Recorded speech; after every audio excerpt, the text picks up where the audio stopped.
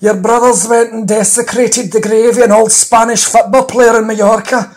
He's getting deported in the morning. I'm going to pick him up at the airport for us.